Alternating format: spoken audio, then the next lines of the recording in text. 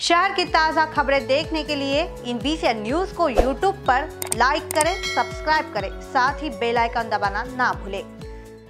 शनिवार को सोमवार क्वार्टर, राजेश गार्डन और परिसर के नागरिकों की ओर से गौरव खड़तकर को श्रद्धांजलि देने के लिए कैंडल मार्च निकाला गया। यह मामला सक्करदरा पुलिस स्टेशन अंतर्गत का है, जिसमें जाँच के बाद पुलिस ने आरोपियों को धर दबोचा आज गौरव की हत्या के पाँचवें दिन श्रद्धांजलि देने के लिए नागरिकों ने कैंडल मार्च निकाला। क्रिमिनल लोग जो यहाँ घूमते रहते हैं, उन लोगों के साथ इतनी कड़क कार्रवाई होना चाहिए कि मेरा बच्चा तो मैंने खो दिया। अब वो तो वापस आएगा नहीं। पर भविष्य में कभी किसी दूसरे का बच्चा जाना नहीं चाहिए सोमवारी क्वार्टर में। और उन लोग की फुटेज भी मिल चुकी है। उसके बाद मैं कानून से इतनी ही इच्छा रखती हूँ कि अब किसी तरह की टाल मटोल न करते हुए उनके ऊपर कड़क से कड़क कार्रवाई हो। आज मुझे मेरा बच्चा नहीं दिख रहा ना, उन लोगों को भी बाहर का सूरज नहीं दिखना चाहिए। आज वो 20-22 साल की एज में गए हैं। कम से कम वापस आते तक उन लोग पचास साठ साल के हो जाना चाहिए। अगर उन लोग फिर से वापस आते हैं तो आज गौरव गया है। पता नहीं सोमवारी क्वार्टर कैसे कितने गौरव जाएँगे और कोई कुछ नहीं कर पाएगा।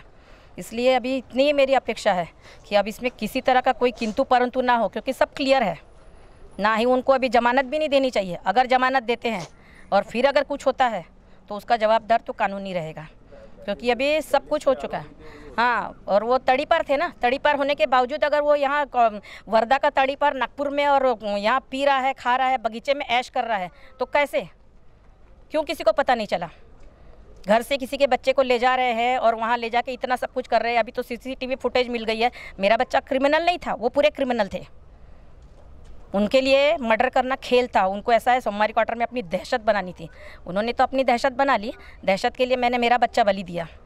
पर उनकी दहशत भी पूरी नहीं होना चाहिए। अगर इस पर कुछ होता नहीं है तो फिर ये तो एक नहीं, ऐसे कई खोएँगे हर दो चार महीने में एक ना एक जाने वाला है। सबके घर में बच्चे हैं।